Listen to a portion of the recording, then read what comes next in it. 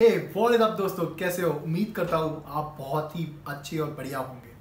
आज मैं आपसे डिस्कस करने वाला हूँ what is Amazon honeymoon period अब ये अगर आपने पहली बार सुना है तो आप थोड़े बहुत शॉक हो जाएँगे बट ये बहुत ही इंपॉर्टेंट कॉन्सेप्ट है और इसको समझना बहुत ही इंपॉर्टेंट है।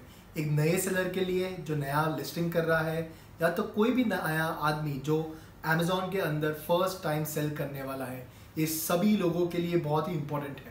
और ये टर्मिनोलॉजी वेस्टर्न वर्ल्ड से आई है, और इसका मतलब और उसको और जानने के लिए आगे का वीडियो देखिए। करते हैं first of all Amazon honeymoon period होता क्या है? अब बेसिकली हनीमून पीरियड ये होता है कि अगर आप एक नए सेलर हो और आप एक नई लिस्टिंग बना रहे हो, इसका मतलब आप एक नया प्रोडक्ट इंट्रोड्यूस कर रहे हो अमेजोन के कैटलॉग में तो अमेजोन आपको बेनिफिट ऑफ़ डाउट देता है। क्या देता है? बेनिफिट ऑफ़ डाउट इसका मतलब वो आपको ये नहीं समझेगा कि आपका प्रोडक्ट बहुत ही बकवास है, या तो आप रैंक नहीं कर पाओगे। तो सबसे पहले क्या होता है? जैसे आपने प्रोडक्ट की लिस्टिंग की, और जैसे आपका फ़र्स्ट इन्वेंट्री लाइव होता है, तब से आपको almost thirty to forty five days her category का डिफरेंट होता है। अमेजोन एक बेनिफिट ऑफ़ डाउट देता है कि तीस दिन में आपको मैक्सिमम एक्सपोजर देगा। इसका मतलब अगर आपका प्रोडक्ट कोई कीवर्ड जैसे समझिए टंग क्लीनर के लिए एथ पेज पे है तो आपको वो एथ पेज पे नहीं देगा जैसे आपने एडवर्टीजमेंट स्टार्ट की, जैसे आपने सेल बढ़ी तो आपको वो फोर्थ पेज से आपको एक चांस देगा। आपको चांस देगा कि आप जितने शॉर्ट पीरियड ऑफ़ टाइम में कितना सेल कर सकते हो। उनके दिमाग में ये होता है कि ये शायद नया प्रोडक्ट बहुत ही पॉपुलर हो सकता है तो ये आपको बहुत चांसेस देते हैं। जब आप ऑटो कैंपेन रन करोगे तो आपको और एक्सपोजर देगा। तो आप जितनी सेल्स ये थर्टी डेज़ में ला सकते हो, उतना ही अमेजोन आपको पुश करेगा डिफरेंट कीवर्ड्स में और डिफरेंट डिफरेंट प्लेसमेंट्स और एड्स में।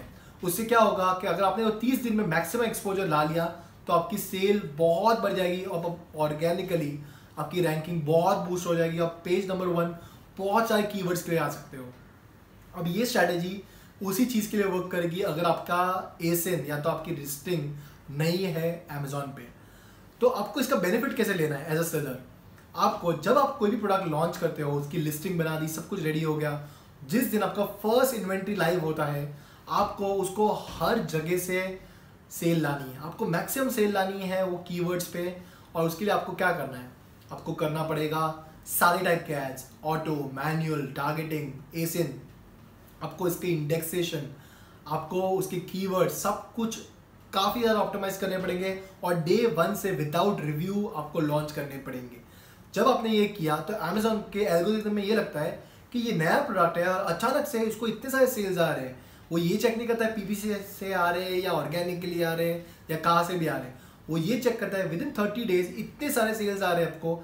एवरी डे उसको इतने सेल्स आ रहे हैं। मे बी ये प्रोडक्ट डिजर्व करता है कि मैं इसको और एक्सपोजर दूँ। तो ये प्रोडक्ट बड़े बड़े कीवर्ड्स पे, जैसे आपका एकदम मेन कीवर्ड होगा, उस पर आपको स्टार्ट करेगा रैंक करना। और अगर आपने इसका सेल्स वेलोसिटी पंद्रह से बीस दिन तक मेंटेन किया तो आप ऑलमोस्ट सब मेजर कीवर्ड्स में हैविंग बहुत कम रिव्यूज़ भी आप काफ़ी अच्छे से रैंक कर पाओगे।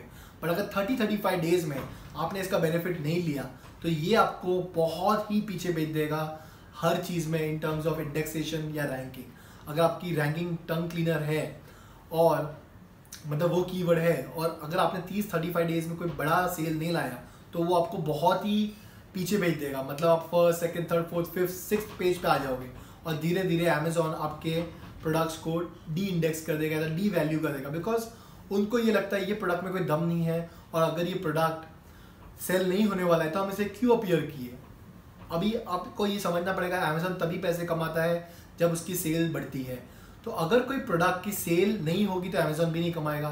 तो उनका ऑब्जेक्टिव यही है कि अगर वो कीवर्ड पे कोई प्रोडक्ट सबसे ज़्यादा क्लिक लेता है और सेल होता है, हम उसको ही पुश करेंगे। तो ये बहुत ही इंपॉर्टेंट है Amazon honeymoon period thirty thirty five days का जनरली हर कैटेगरी में होता है। तो आपको हर कुछ चीज़ें करनी है थर्टी थर्टी फाइव डेज़ में आपकी सेल बढ़ाने के लिए, ताकि आप लॉन्ग टर्म वो लिस्टिंग का बहुत बेनिफिट ले पाए और ऑर्गेनिकली आपकी रैंकिंग बढ़ा पाए और इससे आपकी सेल्स भी बूस्ट करती है।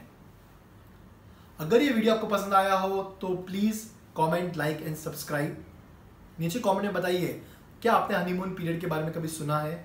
और अगर सुना है तो कभी आपने इसका यूज़ किया है, कभी इसका आपने यूटिलाइज किया है, अगर किया है तो क्या बेनिफिट मिला है?